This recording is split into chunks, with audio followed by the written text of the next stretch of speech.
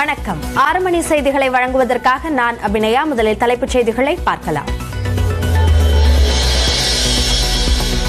பிரதமர் நரேந்திர மோடி அதிபராக முயற்சியில் இருப்பதாக முதலமைச்சர் மு ஸ்டாலின் குற்றச்சாட்டு. ஒரே நாடு ஒரே தேர்தல் திட்டத்தால் திமுக மட்டுமல்ல அதிமுகவும் பலிகடா ஆகும் என எச்சரிக்கை.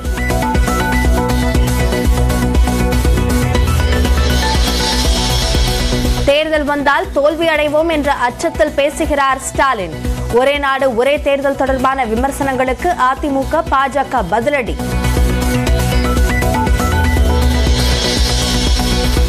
நூறாவது சுதந்திர தினத்தை கொண்டாடும் போது நாட்டில் சாதி வகுப்புவாதம் ஊழல் இருக்காது. இந்தியா வளர்ந்த நாடாக மாறும் என்றும் பிரதமர் நரேந்திர மோடி திட்டவட்டம். ஆதித்யா எல் ஒன் விண்கலத்தின் சுற்றுவட்ட பாதை வெற்றிகரமாக உயர்த்தப்பட்டது. நாளை அதிகாலை மீண்டும் அதிகரிக்கப்படும் என இஸ்ரோ அறிவிப்பு. சென்னை செங்கல்பட்டு திருவள்ளூர் காஞ்சிபுரம் மாவட்டங்களில் பரவலாக மழை. நெல்லை தென்காசி கன்னியாகுமரியில் இன்று கனமழை பெய்யும் என கணிப்பு.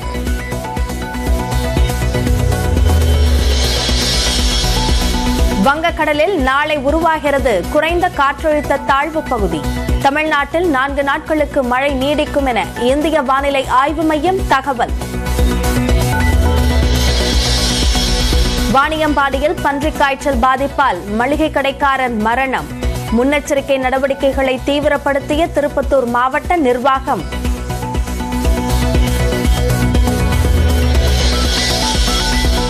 சனாதனம் பற்றிய அமைச்சர் உதயநிதியின் பேச்சுக்கு பாஜக கடும் கண்டனம். தான் பேசியது சரிதான். வழக்குகளை சந்திக்க தயார் என உதயநிதி திட்டவட்டம். இல்ல நான் கரெக்டா தான் சொன்னேன். நான் இப்பவும் சொல்றேன். நான் சொன்னது கரெக்டா தான் சொன்னேன். அதை வேணும்னே அவங்க வந்து எப்பவுமே அது பாஜக ஒரு வேலை. Fake news பரப்புறது.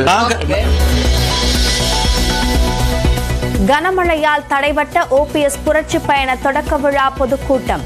காஞ்சிபுரத்தில் வேறு ஒரு நாளில் மீண்டும் கூட்டம் நடைபெறும் என பண்டுட்டி ராமச்சந்திரன் அறிவிப்பு.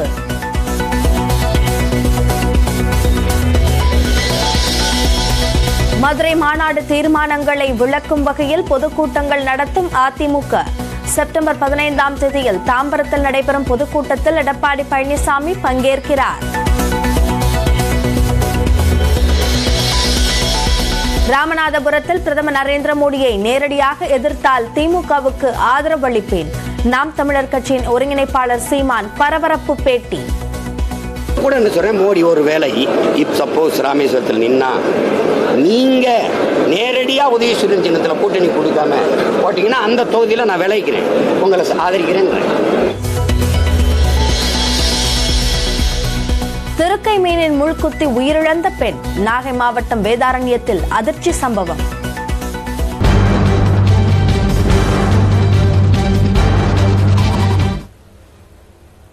ஒரே நாடு ஒரே தேர்தல் நடைமுறைக்கு வந்தால் பாஜகவை தவிர எந்த அரசியல் கட்சியும் செயல்பட முடியாத சூழல் உருவாகும் என்று கூறியுள்ள முதலமைச்சர் மு ஸ்டாலின். இந்தியாவின் அதிபராக முயற்சியில் பிரதமர் நரேந்திர மோடி இறங்கியுள்ளதாக விமர்சித்திருக்கிறார். சென்னையில் திமுக நிர்வாகி மனோகரன் இல்ல திருமண விழாவில் முதலமைச்சர் மு ஸ்டாலின் கலந்து கொண்டு மணமக்களை வாழ்த்தினார். தொடர்ந்து நிகழ்ச்சியில் பேசிய அவர் இந்தியா கூட்டணியின் மூன்று கூட்டங்களை பார்த்து பயந்து போய் நாடாளுமன்ற சிறப்பு கூட்டத்தை பாஜக அரசு கூட்டியிருப்பதாக தெரிவித்தார். ஒரே நாடு ஒரே தேர்தல் மூலம் வலிக்கடா ஆகப் போகிறோம் என்பதை அறியாமலேயே அந்த திட்டத்திற்கு அதிமுக ஆதரவளிக்கிறது என்றும் ஸ்டாலின் குறிப்பிட்டார். தாம் ஆக தெரியாது. அதனால அதிமுக பலிகடா ஆகும் போது இந்த சட்டம் நிறைவேறிட்டா திமுக மட்டும் இல்ல எந்த அரசியல் கட்சியும் நாட்டில் செயல்பட முடியாது. அரசியல் கட்சியை நடத்த முடியாது. ஆக ஒன்மேன் ஷோ ஆயிடும் ஒரே நாடு ஒரே தலைவர். அதிபர் அப்படின்னு அவர் அனௌன்ஸ்மெண்ட் போயிடலாம். முதலமைச்சர் ஸ்டாலின் விமர்சனத்திற்கு பதிலளித்துள்ள பாஜக மாநில பொதுச் செயலாளர் ராம ஸ்ரீனிவாசன் ஒரே நாடு ஒரே தேர்தலால் பலிக்கடா ஆகப் போவது திமுக தான் என்று பதிலடி கொடுத்தார். திமுகவுக்கு அச்சம் வந்திருக்கிறது அதனால உதறல் ஏற்பட்டிருக்கிறது என்பது தெரிகிறது. நாங்கள் பேசுவது ஒரே நாடு ஒரே தேர்தல். எங்கேயுமே அதிபர் ஆட்சி முறை என்று நாங்கள் பேசவில்லை. பலிகடாக போறது ஒரே நாடு ஒரே தேர்தலில் பலிகடாக போறது திமுக தான். இந்த தடவை அவங்க ஆட்சி இழந்துட்டாங்கன்னா இனி எப்போதும் வர முடியாது. திமுகக்குன்னு ஒரு ஜாதக விசேஷம் இருக்கு. ஒரு தடவை திமுக ஆட்சிக்கு வரும். மறுமுறை வராது. அதிமுக பற்றிய முதலமைச்சர் ஸ்டாலின் கருத்து தொடர்பாக எதிர்வினையாற்றியுள்ள முன்னாள் அமைச்சர் ஜெயக்குமார். அடுத்த ஆண்டு தமிழகத்தில் சட்டமன்ற தேர்தல் நடந்தால் திமுக தோல்வியுறும் என்ற அச்சத்தில் இப்படி பேசுவதாக குறிப்பிட்டார். எதுக்கு பயப்படுவோம் சொல்லி ஒரு மக்களுக்கு நல்லது செஞ்சோன்னா சவால் எடுப்பாங்க எந்த நேரத்தில் தேர்தல் வந்தாலும் நாங்கள் சந்திக்க தயார். அப்படின்னு ஒரு வார்த்தை சொல்ல முடியுமா ஸ்டாலினால? அப்படின்னு சொல்ல முடியுமா இந்த முதலமைச்சரால? சொல்ல முடியாது. இதனிடையே ஒரு மாநிலத்திற்கே பல கட்டங்களாக இதுவரை தேர்தல் நடத்திய மத்திய அரசும் தேர்தல் ஆணையமும். எப்படி நாடு முழுவதும் ஒரே கட்டமாக தேர்தலை நடத்தும் என்று நாம் தமிழர் கட்சியின் ஒருங்கிணைப்பாளர் சீமான் கேள்வி எழுப்பியிருக்கிறார். நீங்க மேற்கு வங்கத்தில் எத்தனை கட்டமா தேர்தல் நடத்துனீங்க? நீங்க சொல்லுங்க. எட்டு கட்டம். ஒரு ஸ்டேட்ல எட்டு கட்டமா தேர்தல் நடத்தினீங்க நீங்க. இதுவரை பாராளுமன்றத்துக்கு நாலு கட்டமா இந்த நிலப்பரப்பில் இந்தியாவுக்குள்ள நடத்துறீங்க நாலு கட்டம். ஆனா ஒரே நேரத்தில் ஒரே நாடு ஒரே தேர்தல். இது ஒரே நாடா? அதுக்கு தம்பி அண்ணாமலையை பதில் சொல்லுங்க இந்தியா ஒரே நாடா? இந்நிலையில் ஒரே நாடு ஒரே தேர்தலுக்கு காங்கிரஸ் முன்னாள் தலைவர் ராகுல் காந்தி எதிர்ப்பு தெரிவித்துள்ளார். இது தொடர்பாக தனது எக்ஸ் பக்கத்தில் பதிவிட்டுள்ள அவர் பாரதம் என்பது மாநிலங்கள் ஒருங்கிணைந்ததே ஆகும் என்று குறிப்பிட்டுள்ளார். ஒரே நாடு ஒரே தேர்தல் என்பது இந்தியா மற்றும் அனைத்து மாநிலங்கள் மீதான தாக்குதல் என்றும் ராகுல் காந்தி கண்டனம் தெரிவித்துள்ளார். அமைச்சர் செந்தல் பாலாஜியின் ஜாமீன் மனுவை எந்த நீதிமன்றம் விசாரிப்பது என முடிவெடுக்க கோரிய வழக்கு உயர்நீதிமன்றத்தில் இன்று விசாரணைக்கு வர உள்ளது சட்டவிரோத பண பரிமாற்ற வழக்கில் கடந்த ஜூன் மாதம் பதினான்காம் தேதி அமலாக்கத்துறையால் கைது செய்யப்பட்ட அமைச்சர் செந்தில் பாலாஜியின் நீதிமன்ற காவல் செப்டம்பர் பதினைந்தாம் தேதி வரை நீட்டிக்கப்பட்டுள்ளது. இவரின் ஜாமீன் மனுவை விசாரிக்க சிறப்பு நீதிமன்றமும் முதன்மை அமர்வு நீதிமன்றமும் மறுத்துவிட்டன. அமலாக்கத்துறையின் வழக்கில் ஜாமீன் மனுவை விசாரிக்க சிறப்பு நீதிமன்றத்திற்கு அதிகாரம் உள்ளதா என்பதை நீதிமன்றத்திடம் தெளிவுபடுத்தி வருமாறு செந்தில் பாலாஜி தரப்புக்கு சிறப்பு நீதிமன்ற நீதிபதி ரவி அறிவுறுத்தியிருந்தார். அதன்படி உயர்நீதிமன்ற நீதிபதிகள் எம். சுந்தர் மற்றும் ஆர். சக்திவேல் அமர்வில் செந்தில் பாலாஜி தரப்பு முறையிட்ட போது தலைமை நீதிபதி தான் முடிவெடுக்க முடியும் என்று கூறிவிட்டனர். இந்த நிலையில் செந்தில் பாலாஜியின் ஜாமீன் மனுவை எந்த நீதிமன்றம் விசாரிப்பது என்பது குறித்து நீதிபதிகள் ஆர். சுரேஷ் மற்றும் குமரேஷ் பாபு அமர்வு இன்று விசாரணை நடத்தவுள்ளது.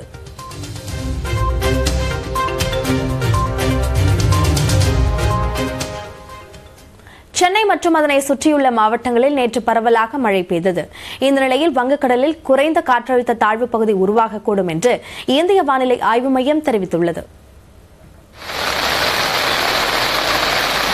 சென்னை மற்றும் புறநகர் பகுதிகளில் நேற்று பரவலாக மழை பொழிந்தது. எழும்பூர் கோடம்பாக்கம் தியாகராய நகர் மயிலாப்பூர் மற்றும் அம்பத்தூர் சுற்றுவட்டார பகுதிகளில் பெய்த மழையால் சாலைகளில் மழைநீர் பெருக்கெடுத்து ஓடியது.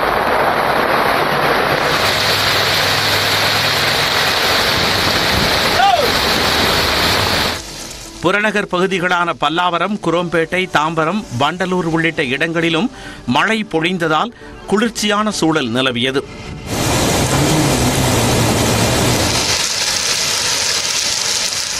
செங்கல்பட்டு மாவட்டம் மறைமலை நகர் கூடுவாஞ்சேரி ஊரப்பாக்கம் கேளம்பாக்கம் திருப்போரூர் உள்ளிட்ட பகுதிகளிலும் இடி மின்னலுடன் கனமழை பெய்தது. இதனால் பல இடங்களில் மின்சாரம் துண்டிக்கப்பட்டது.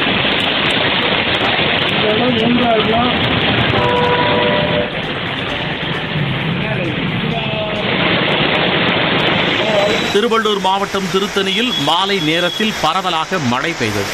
பள்ளிப்பட்டு ஆர்கேபேட்டை புதட்டூர்பேட்டை கேஜி கண்டிகை உள்ளிட்ட பகுதிகளில் சுமார் ஒரு மணி நேரம் மழை கொட்டுகிறது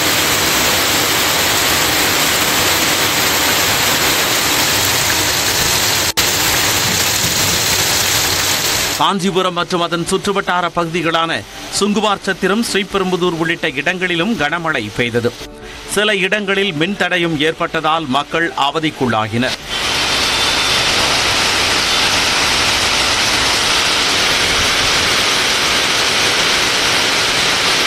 இதேபோல கொடைக்கானல் மற்றும் அதை சுற்றியுள்ள மலைப்பகுதிகளில் மூன்று மணி நேரத்திற்கு மேலாக மழை பெய்தது.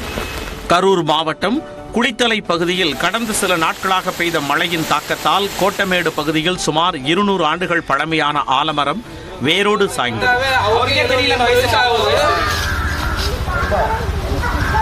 இதனிடையே கன்னியாகுமரி திருநெல்வேலி மற்றும் தென்காசி மாவட்டங்களில் இன்று கனமழை பெய்யும் என சென்னை வானிலை ஆய்வு மையம் தெரிவித்துள்ளது. வங்கக்கடல் பகுதியில் குறைந்த காற்றழுத்த தாழ்வு பகுதி உருவாக வாய்ப்பு உள்ளதாக இந்திய வானிலை ஆய்வு மையம் குறிப்பிட்டுள்ளது. இதனால் தமிழ்நாட்டில் அடுத்த நான்கு நாட்களுக்கு கனமழை நீடிக்கக்கூடும் எனவும் கூறியுள்ளது. வங்கக்கடல் பகுதிகளில் மணிக்கு அறுபத்தி ஐந்து கிலோமீட்டர் வேகம் வரை சூறைக்காற்று வீசக்கூடும் என்பதால் மீனவர்கள் கடலுக்கு செல்ல வேண்டாம் என வானிலை ஆய்வு மையம் அறிவுறுத்தியுள்ளது.